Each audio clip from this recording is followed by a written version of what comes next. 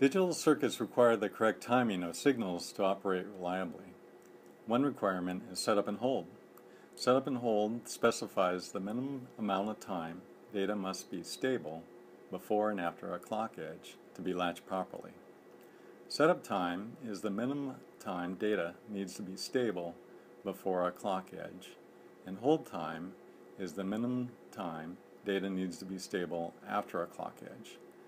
Signal transitions outside these minimum requirements will result in a setup and hold violation. Good applications of this trigger would be to debug the timing on a synchronous parallel bus by verifying minimum setup and hold times between data lines on a clock. Another would be to analyze high performance digital to analog converters, where proper alignment of signals is critical. Being able to trigger on a setup and hold violation is a very powerful troubleshooting tool. So now we'll go ahead and set the scope up for uh, a setup and hold trigger.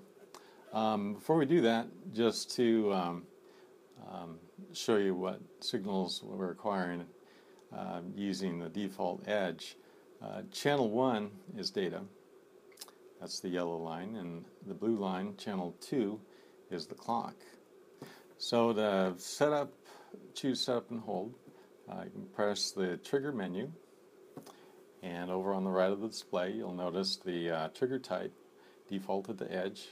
We'll go ahead and push the associated button and select setup and hold. Now the uh, second item is the data source which is channel 1. Our clock source is channel 2 and our setup type is setup. That can be selected uh, to hold as well as a combination uh, setup and hold. We'll use setup for this exercise. And uh, the violation, we're going to set that to 10 nanoseconds uh, for this exercise. So once uh, the setup time is less than 10 nanoseconds, the scope will trigger. Right now, um, we're, uh, we're in auto mode, acquiring, and the scope has not triggered. Uh, so a setup and hold violation has not occurred yet. Um, so we'll go ahead and look for that violation. Could take some time. And there we are. So the scope is triggered, and you'll notice that the time between data and clock is less than 10 nanoseconds.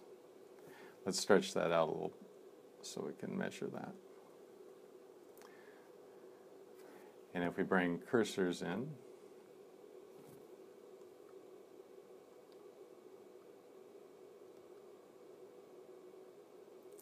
we can see that the time is about 8 nanoseconds. So we, the scope has triggered on our setup and hold violation.